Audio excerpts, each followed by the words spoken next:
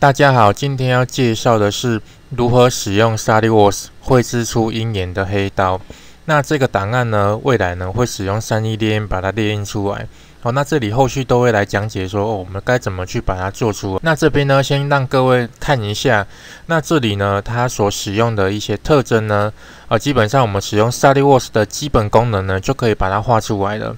哦，那我们不需要太深入、太进阶的一些指令，只需要基本的生产填料、旋转等等的这类的呢，就可以把大致上的这些物件呢，呃，特征给它画出来。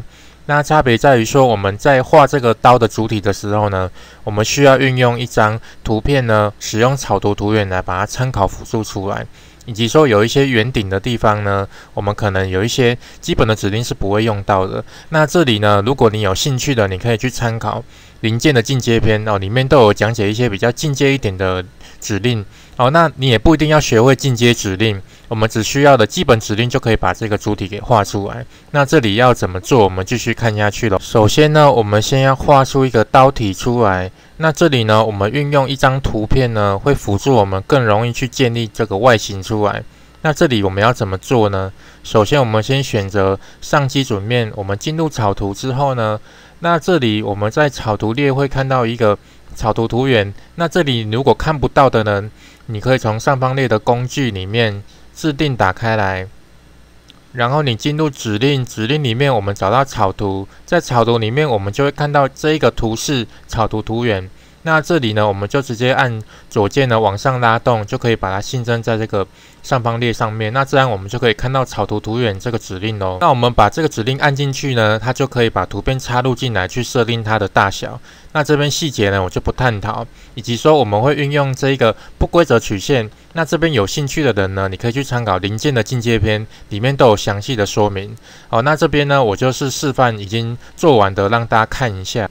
首先呢，我先做出刀的身长填料。那这里呢，给它的厚度呢是多少呢？我们来看一下，这里是给它四 mm 的两侧对称。那我进入这个草图给各位看一下。那这边呢，就是使用的草图图源呢，哦，把这个地方呢给它参考出来，然后运用这个不规则曲线把它绘制出来。那这里呢，我是绘制了一二三三个封闭的草图。哦，那这样基本上我们也可也是可以做的。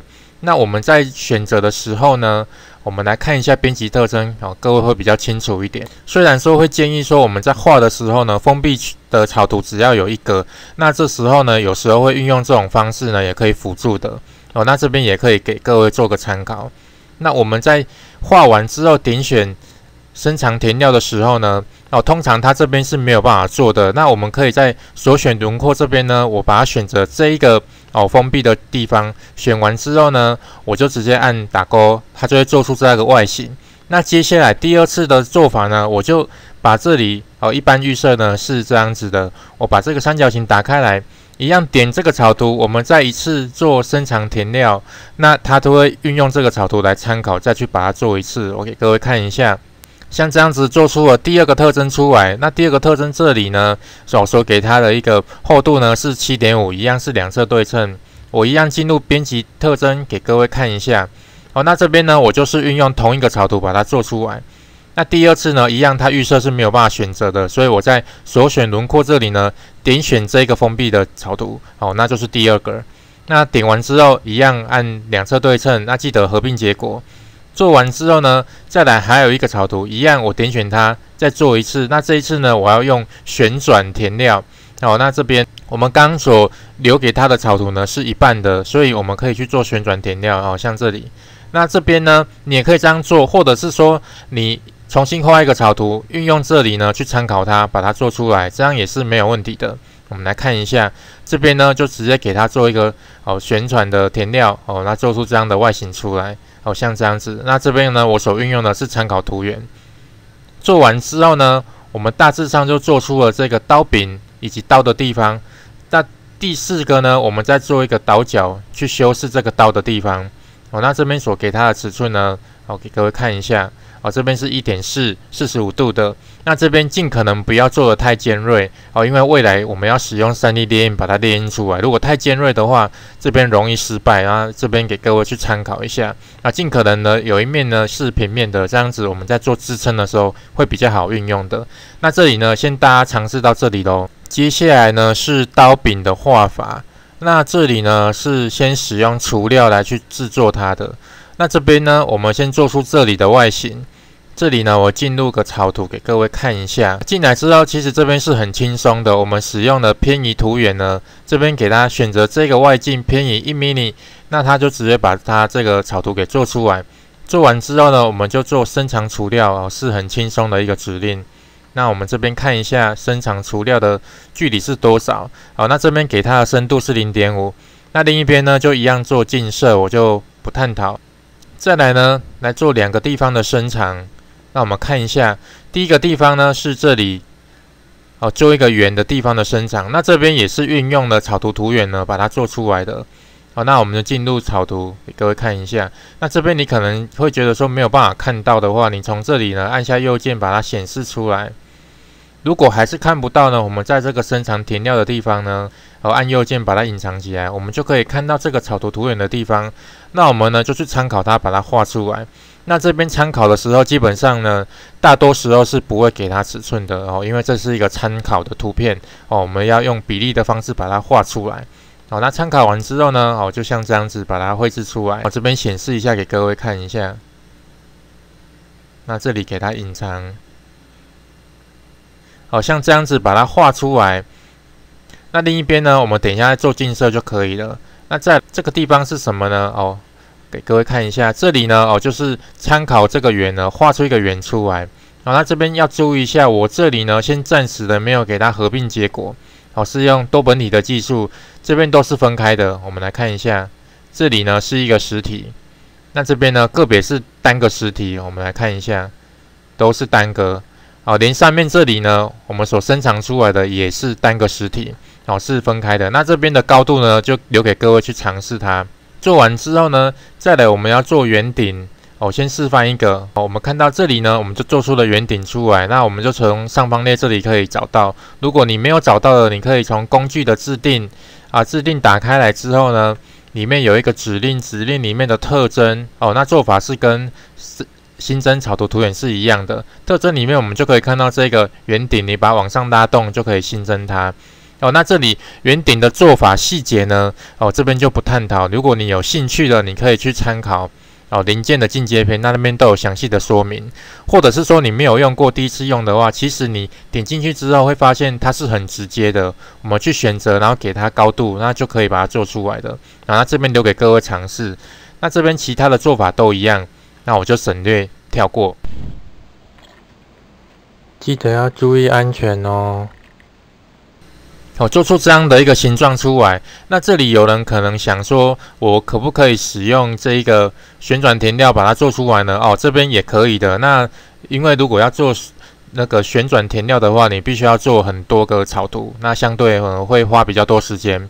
那用圆顶的话，会比较轻松跟方便一点。那再来呢？我们做完之后，另一边用金色，最后呢，再把整个实体全部结合在一起，那就可以完成这个外形出来。好，那这边呢还会稍微运用到一个啊布林运算的地方。然后那这边呢，如果你有不了解的地方，你可以到多本体的技术篇去参考，或者是说哦，你这边你不要给它合并结果。哦，那就是你想要一开始画的时候全部都是合并结果哦，那也是没有问题的。那只是说这边圆顶的时候可能会有一些问题，或者是说你把这个圆顶呢改成是伸长填料，哦，没有一个弧面的，或者是是你要用这个旋转填料呢去更改它，哦，都可以的。那这边就是细节让让大家去参考，哦，不一定要说真的要做出这个圆顶。那如如果想要做这个圆顶的话，会建议使用布林运算。哦，这样子在做圆顶比较不会有错误。哦，那这边细节让大家去参考喽。接下来呢是小细节的地方，那这边会稍微困难一点。哦，那因为呢我们图片可能会不太清楚，所以我们需要发挥一点想象力。哦，所以这边呢哦不要太拘泥说啊怎么把它画得精确，我们就大概就可以了。哦，用一点哦随性的方式把它画出来。哦，像这样子，我给各位看一下它的草图。那草图就是这样子，好，那很随性把它画出来。那画完之后呢，我们就直接做生长填料的动作。那这边基本上是从这个面哦做到这个面。那这边呢，它我们刚刚所给它的是零点五哦，所以就是伸长零点五。那这边其他都一样，我就不另外做多做说明。那基本上我们做完一边，另一边就是用近色的，好像这种方式。好，那另一边呢，我们就不用再画了，我们就画好上上面这一边，另一边近色啊，这样就会相当方便的。我们再来看一下哦，那这边呢，哦，剩下右边做完之后一样做近色。那那这边草图呢，就是使用的不规则曲线呢，把它绘制出来的。那这边细节让大家去尝试哦，这边就是随性的把它做出来哦，一样会运用刚刚的草图图源呢去辅助。那这边辅助的时候不用太拘泥它的细节，我们只要大概把它画出来。好，细节你如果有把它抓到哦那种感觉的话，那这整个特征就会比较像的。那并不一定要百分之百都是一样的哦。那这边让大家去发挥一下想象力。好像中间这个地方呢，就可能比较难去表现它的。那这边一样哦，就像刚刚说的，就是随性一点把它做出来。好，那这边记得呢，我们的厚度不要太细。那我会建议呢是哦零点八啊，或是零点六以上啊，会比较建议这样啊，尽可能不要再小于零点四啊，因为大多数的喷头呢是零点四的。那我这边呢是给它的是零点五的啊，因为如果太小的话呢，我们的喷头所挤出来的料呢就已经大于了这个我们给它的厚度，那这样炼印的话会失败，有可能你辛辛苦苦的画了这些特征，结果炼印出来是都炼印不出来，都是空的哦，那这样就会比较有。有一些麻烦，所以尽可能的呢，我会建议说，我这边是使用零点五，但是还是建议各位再大一点，这样特征会更明显。好像零点六或零点八，好这样子呢，这个外形会比较清楚一点。那这边做法都一样哦，画完之后直接做近色啊，以及说中间这个地方哦，这边也是不太好处理的，那是哦随性把它做出来。那全部都做完之后呢？近色完，我们在整体的地方呢做外形的修饰，然后让它是一个一体式的。好，那这边细节让大家去尝试喽。最后呢，来总结一下鹰眼黑刀的画法。那这边呢，我们所使用的呢是基本的指令呢，就可以把它做出来。那这边呢，运用 3D 打印把它打印出来也是非常棒的。哦，那这里呢是非常适合说你已经学会了 3D 绘图，好像 SolidWorks 这样的软体。然后想要自己画一个武器，或者是画一个东西呢？运用 3D 打印把它打印出来，把它做出来哦。这样子想要体验这种感觉的话，鹰眼黑刀这个档案是非常适合的啊。我们可以自己画、自己做，然后再自己涂颜色啊。那这里呢，我们要注意的地方是什么呢？我们在画的时候要注意的是，我们的草图图源好，要记得把它设定一开始的档案大小。好，那比例的话，我们在画的时候呢，会比较好去抓取。好像有一些小细节呢，我们尽量不要小于零点六，好或零点五。好，像像这种方式，以及说未来我们是要使用 3D 列印把它列印出来的，所以呢，我们在列印的时候会发现说，这个刀的地方好像没有大平面可以去使用它，因为我们这边有小细节的话，我还是没有办法容易去固定它。那这时候呢，会建议你好像这样子去摆放。好，给各位看一下，哦，类似六十度或四十五度这种角度摆放它，然后底部呢，你可以开启边缘或开启木筏都可以，你可以去尝试一下。然后支撑材一定要开启。那这里我会建议放这个方向。哦，那这里我们刚一开始在画的时候有有去讲到说，我们的刀柄呢，哦，刀的地方一边呢是让它留是平面的，平面的用意就是我们在 3D 打印要使用的，建议放这个地方。平面朝下，那这里就是会有支撑材。那支撑材在这个地方呢，我们就是会比较没那么好看的时候呢，我们一用平面的话，那相对的它会比用尖点呢所支撑出来还要好哦。所以这样子我们的刀的成功率会比较高一点。那在这个过程呢，哦，尽量这个刀柄的地方呢，好让它支撑多一点。你可以把支撑设定小一点，好像三十度或三十五度，好让它这边多一点。我们在一开始。在这里还没有连接在一起的时候呢，这边也是容易做失败的动作哦。那所以建议呢，你的支撑材开多一点哦。那这边你如果有兴趣的，你可以去参考这个鹰眼黑刀的作品哦，那边都有制作过程的一些详细的过程。那这个档案呢，如果你想要，我们要怎么取得呢？哦，一样到影片底下的连接哦，你把它点进去之后，影片底下呢哦里面的内容。好，都会有这个档案的下载。好，那这样子我们就可以得到这个档案，以及说要我们要怎么去制作它喽。